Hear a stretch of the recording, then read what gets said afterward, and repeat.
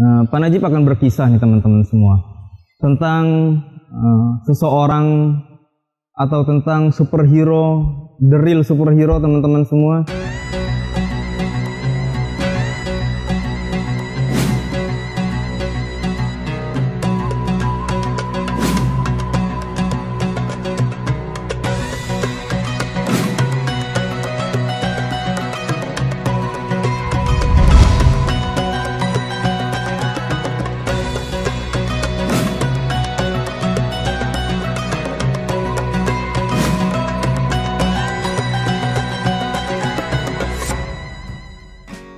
Bismillahirrahmanirrahim. Assalamualaikum warahmatullahi wabarakatuh. Ya Alhamdulillahirrahmanirrahim Assalatu wassalamu ala asrafil anbiya mursalin Sayyidina Muhammadin Wa ala alihi wa ashabihi wa mansara ala nahji bisanin ila yawmiddin wa ba'du. Alhamdulillahirrahmanirrahim teman-teman semua. Uh, Pada pertemuan kali hari uh, Pada pertemuan hari ini uh, Pak Najib akan berkisah nih teman-teman semua Tentang uh, seseorang atau tentang superhero the real superhero teman-teman semua. Yang mana uh, superhero satu ini bukan cuma cerita fiksi tapi benar-benar nyata adanya ya. Dia memimpin sebuah peperangan di umur yang sangat muda ya. Teman-teman pasti pada kenal dengan nama yang satu ini. Ya Muhammad Al-Fatih namanya.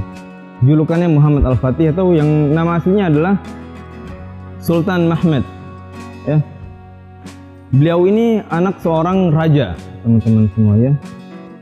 Nah, masa kecilnya itu di dipenuhi dengan kekayaan dan sebagainya macamnya lah. Sehingga ketika dia kecil ini dia sempat belajar ke ke banyak guru, teman-teman. Belajar ke banyak guru dan karena dia dimanjakan oleh orang tuanya yang sebagai sultan atau raja, dia tidak belajar dengan serius. Ya pada akhirnya ayahnya nih tidak kehabisan akal.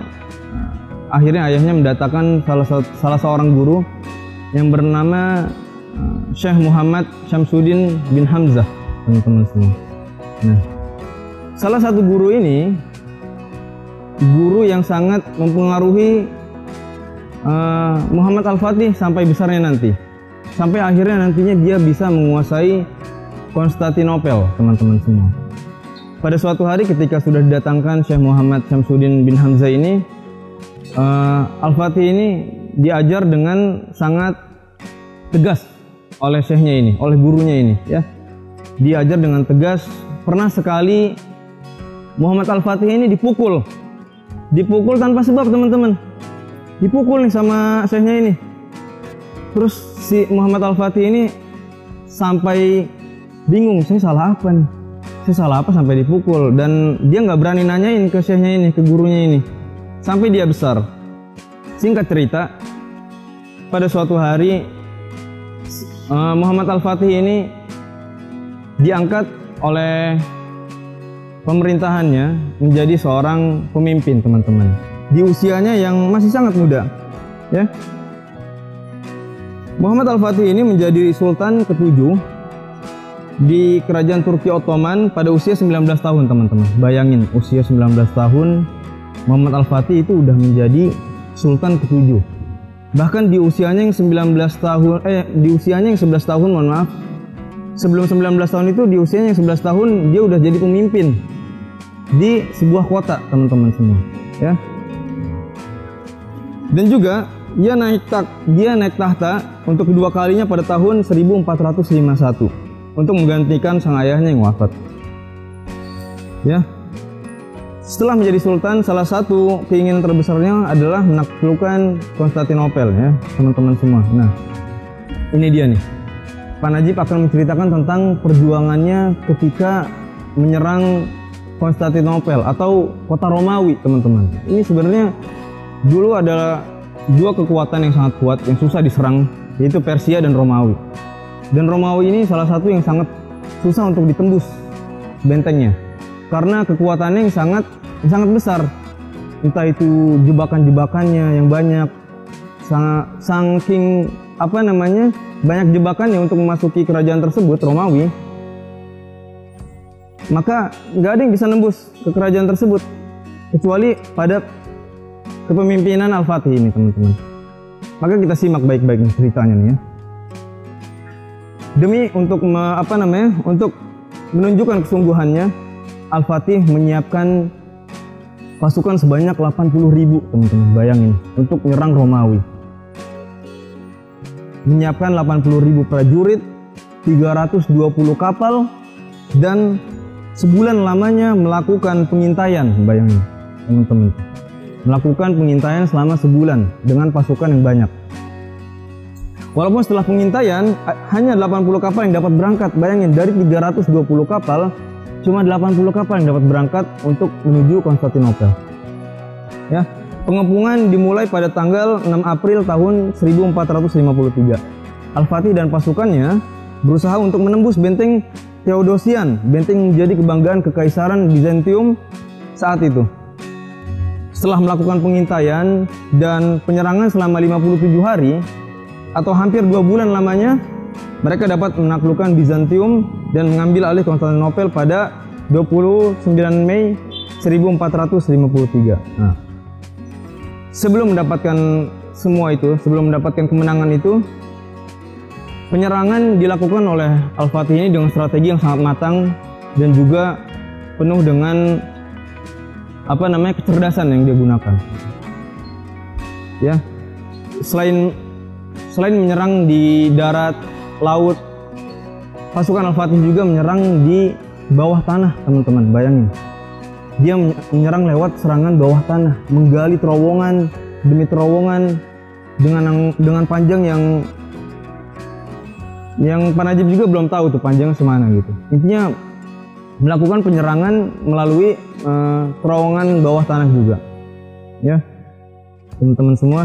Dan juga pada perang tersebut pada penyerangan uh, kota Romawi tersebut, ya Konstantinopel ini, uh, ketika apa namanya pasukan Muhammad Al Fatih dengan berapa titik 80 kapal ingin tembus ke kota yang menjadi sasarannya. Tapi setelah pengintauan, eh, setelah pengintaian itu diketahui bahwa di laut tersebut sudah dipasang ranjau, sudah dipasang jebakan-jebakan yang mana kapal-kapal tersebut mungkin bisa meledak atau hancur berkeping-keping. Tapi karena sudah tahu, akhirnya kapal tersebut teman-teman semua diangkut ke daratan. Bayangin teman-teman semua, kapal yang besar dengan isi yang begitu banyak diangkut melalui daratan. Karena daripada lewat laut yang nanti bakal hancur, dia melewati daratan dengan bantuan beberapa kayu dan pelumas agar si kapal tersebut bisa didorong dan digerakkan untuk melewati kota. Ya. Setelah itu, Muhammad Al-Fatih juga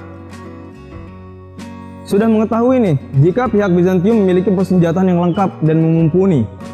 Selain pasukan kavaleri yang banyak, Kaisar Bizantium yaitu Konstantine 9 eh 11, mohon maaf, memiliki senjata ketapel perang dan panah berapi teman-teman. Api tersebut adalah api Yunani yang bahkan tetap bisa menyala walaupun di air. Bayangin tuh, ya. E, jadi lawannya ini bukan lawan yang kaleng-kaleng nih kalau kita bilang. Lawannya berat. Dia punya persenjataan yang lengkap, yang bisa dibilang canggih pada zamannya. Tapi Muhammad Al-Fatih dengan kepemimpinannya tetap uh, optimis untuk melawan mereka. Ya. Lalu selanjutnya pada suatu hari Muhammad Al-Fatih mengutus seorang arsitek dari Hongaria, Munir Ali Orban untuk membuat sebuah meriam yang menjadi meriam paling fenomenal di zamannya. Ya. Meriam sepanjang 8 meter dengan berat 16,8 ton dan berdiameter 750 mm. Meriam raksasa tersebut dapat menembakkan peluru seberat hampir 300 sampai 1600 kg teman-teman bayangin. Dengan jangkauan jarak 2 km. Wah, jauh banget tuh kan. Ya. Pada tahun 1866, ia menjadi koleksi kebanggaan Royal Amoris setelah Sultan ke-35 Turki Ottoman Abdul Aziz memberikannya pada Ratu Victoria. Nah, terus juga ketika berperang ini Muhammad Al-Fatih sempat berputus asa, teman-teman. Ya. Di apa namanya sempat bersedih. Dikala tekanan dan kesedihannya datanglah salah satu gurunya nih. Ya gurunya yang sangat berpengaruh buat dirinya. Siapa ada yang masih ingat teman-teman gurunya yang di awal Pak Najib sebutin? Ya. Syekh Muhammad Syamsuddin bin Hamzah. Benar. Gurunya ini memberikan nasihat padanya yang mana akhirnya uh, dari nasihat tersebut Muhammad Al-Fatih mendapatkan semangat lagi dan juga akhirnya bisa melanjutkan serangan terhadap uh, kerajaan Konstantinopel atau kerajaan Bizantium. Nah, peperangan ini berlangsung selama 57 hari, teman-teman ya. Dimulai dengan masa pengintaian hingga penaklukannya, ya. Baik tentara Turki Ottoman dan Bizantium mengalami beberapa kali pertempuran, pertempuran dan juga genjatan senjata. Perang sengit untuk antara keduanya pun tidak bisa dielakkan nih teman-teman ya. Pasukan Turki Ottoman yang terus berusaha masuk ke Konstantinopel dengan cara menembus benteng Theodosian mengeluarkan senjata dan taktik terbaik mereka. Seolah tak mau kalah, Bizantium pun mengeluarkan taringnya nih teman-teman. Mereka mengerahkan semua senjatanya yang canggih pada zamannya itu, mengeluarkan semua pasukannya untuk melawan tentara dari Turki Ottoman ini. Entah berapa banyak pasukan atau darah tersebut baik dari pihak Turki dan Konstantin yang bertumpah di benteng agung Bizantium tersebut. Perang ini bahkan menjadi perang yang mengakhiri abad pertengahan karena berakhir pula kekaisaran Bizantium akibat wafatnya sang raja yang bernama Konstantin 11 saat pertempuran, teman-teman. Nah, dari uh, pertempuran demi pertempuran yang uh, Muhammad Al-Fatih pimpin dan akhirnya bisa menguasai Konstantinopel dan kerajaan Bizantium tersebut dan juga runtuhnya kerajaan tersebut dan juga meninggalnya seorang raja tersebut. Semua tidak lepas dari peran seorang guru teman-teman. Ya yang tadi udah Pak Najib sebutin di awal ya yang awalnya Muhammad Al-Fatih ini uh, karena dipenuhi dengan fasilitas oleh ayahnya yang seorang sultan, seorang raja. Dia sempat uh, bermalas-malasan dalam belajar. Dia sempat apa namanya uh, terlena dengan uh, semua fasilitas yang diberikan oleh ayahnya gitu ya. Padahal zaman tersebut belum ada PS, belum ada uh, teknologi ya teman-teman. Dan akhirnya karena ayahnya ini ingin anaknya tumbuh, maka didatangkan guru yang benar-benar berani untuk uh, mendidik seorang Muhammad Al-Fatih tersebut ya. Untuk mendidik uh, si Mahmed ini. Karena Al-Fatih ini adalah julukan setelah uh, ini uh, menaklukkan Konstantinopel ya. Al-Fatih artinya adalah sang penakluk, teman-teman. Ya. Tidak lepas dari seorang guru yang mana pas itu pernah memukul uh, Al-Fatih tanpa alasan. Suatu hari ketika telah menguasai Konstantinopel, Al-Fatih dengan masih rasa penasarannya karena pernah dipukul tanpa alasan oleh gurunya, akhirnya Al-Fatih uh, memberanikan diri untuk mendatangi gurunya dan bertanya, "Wahai Syekh, kenapa engkau pas itu pernah memukul saya tanpa tanpa alasan?" Dan saya nggak tahu apa kesalahan saya. Waktu itu engkau, engkau, engkau pun tidak memberitahu apa kesalahan saya kata Muhammad Al-Fatih. Akhirnya gurunya ini, syekhnya ini menjawab. Syekhnya bilang, inilah waktu yang saya tunggu, kata syekhnya. Akhirnya engkau mempertanyakan pertanyaan tersebut. Kenapa aku memukul engkau tanpa sebab? Itu agar menjadi pelajaran buat engkau. Wahai Mahmud, kata syekhnya nih. Yang mana akhirnya engkau mengingat hal tersebut mengingat kezaliman yang pernah saya buat ke engkau kata syekhnya tersebut. Engkau ingat terus kezaliman yang aku lakukan dan akhirnya engkau mempertanyakannya maka aku akan jawab. Semua itu adalah pelajaran buat engkau. Ya agar engkau tahu bahwa diperlakukan zolim atau semena-mena itu tidak enak. Dan akan terus menghantui diri engkau menghantui dirimu. Sampai engkau sebesar, sebesar ini pun engkau masih ingat pukulan yang aku lakukan pada saat itu kata syekhnya pelajarannya adalah kata syekhnya agar engkau ketika menjadi pemimpin engkau tidak semena-mena engkau tidak berbuat zalim kepada rakyatmu. Engkau tidak uh, diam saja ketika ada yang kelaparan atau ditindas oleh orang lain. Agar engkau tahu bahwa tidak enak diperlakukan seperti itu. Ketika itu mukul tanpa sebab adalah membuat uh, pelajaran buat Muhammad Al-Fatih ini. Ya, akhirnya dijawab oleh syekhnya itu intinya di situ adalah pelajaran agar Muhammad Al-Fatih ini tidak berbuat zolim kepada siapa pun ya tidak berbuat zolim kepada temannya, tidak berbuat zolim kepada bawahannya, tidak berbuat zolim kepada rakyatnya ketika dia jadi pemimpin. Hmm. Jadi itu teman-teman ya. Uh, dari kisah Al-Fatih ini kita bisa banyak mengambil pelajaran. Mulai dari keseriusan dalam belajar ya. Ketika dapat perintah dari guru itu harus kita harus nurut.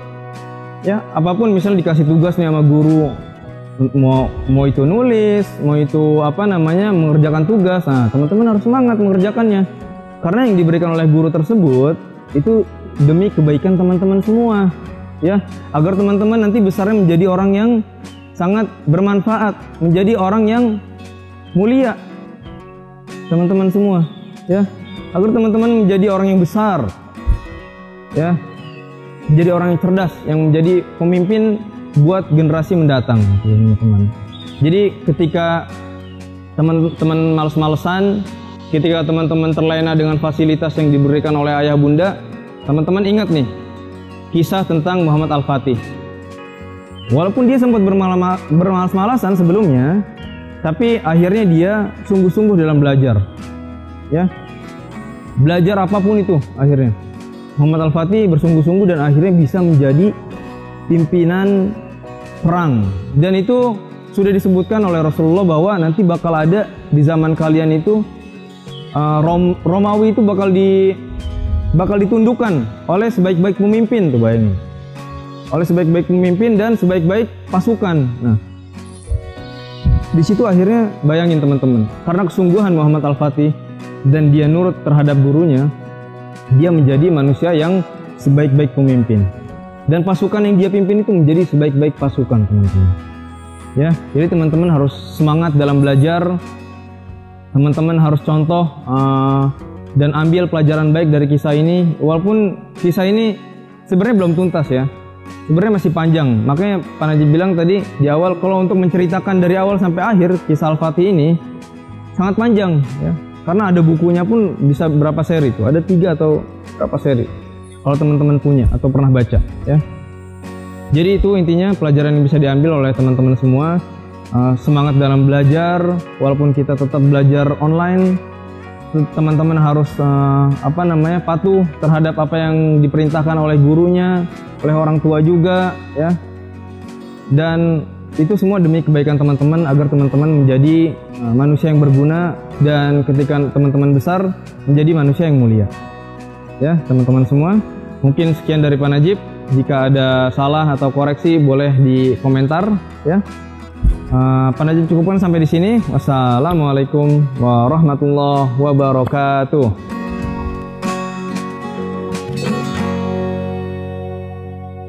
Jangan lupa like, comment, subscribe, dan tekan tombol loncengnya biar nggak ketinggalan update dari channel YouTube kita.